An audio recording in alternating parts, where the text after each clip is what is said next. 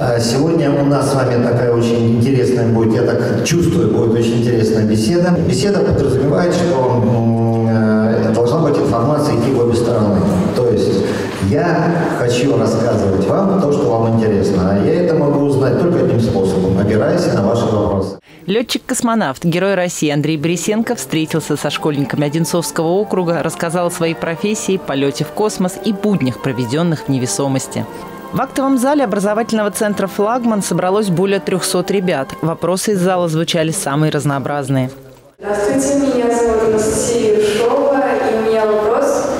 Какова будет первая помощь в открытом космосе человеку, которому стало плохо?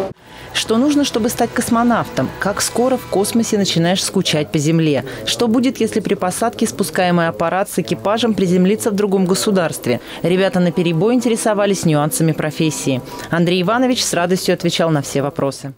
Просто нашу профессию надо идти с открытыми глазами и очень хорошо понимать, представлять, какие риски она несет. Настоящим сюрпризом для ребят стало присутствие в зале супруги Андрея Борисенко, Натальи. Женщина, в свою очередь, рассказала, каково это быть женой космонавта. Мало приятно, уезжает муж на целых полгода, мусор выносить некому, сходить в магазин некому. Ну, на самом деле это шутка. Это очень волнительно. Нервы, конечно. В рамках встречи ребятам также показали несколько документальных фильмов об истории развития космоса и о достижениях сферы сегодня. Школьников встреча очень впечатлила и точно запомнится каждому на всю жизнь. Мне очень понравилось. Во-первых, это очень познавательно и интересно. Во-вторых, я узнала много нового о космосе и, наконец-то, увидела настоящего космонавта. вживую. Мне тоже очень понравилось, э, очень много интересного запомнилось э, и тоже, ну, услышала много чего достаточно интересного. София учится в девятом классе центра «Флагман», а попутно занимается в медиашколе образовательного учреждения и сегодня выступает в роли журналиста. А, Мы узнали накануне, буквально вчера вечером. Э, Очень много думали, как мы камеры будем готовить, заряжены ли они. Мы все очень рады, что к нам приезжает такой человек.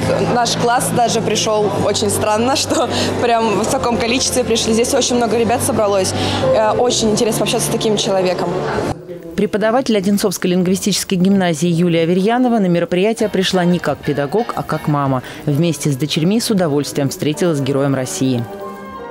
Мероприятие очень значимое для нас, потому что оно охватывает очень много сфер нашей образовательной деятельности, сфер нашей жизни. Перед нами настоящий герой, человек, который и здоровый образ жизни ведет, человек, который действительно образец для нашей, нашего подрастающего поколения.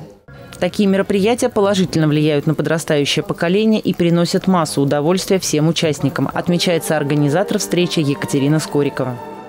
помогает э, определиться с профессией, да, это в, в рамках профориентационных э, э, мероприятий. Плюс, мне кажется, каждому ребенку и каждому взрослому очень интересно узнать э, о космосе э, что-то новое, что мы еще не знаем, и причем пообщаться с, э, лично, вживую с летчиком-космонавтом, с человеком, который был там и видел все своими глазами.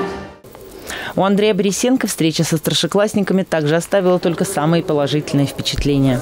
Мне всегда очень нравится общаться с ребятами в рамках э, различных мероприятий. Это вот одно из тех, из тех форматов, которые, на мой взгляд, очень удачные, потому что именно формат беседы позволяет ребятам задать э, те вопросы, которые им интересны, ну а мне, соответственно, на них ответить. Творческий коллектив школы подготовил для Героя России тематический музыкальный подарок ко Дню космонавтики.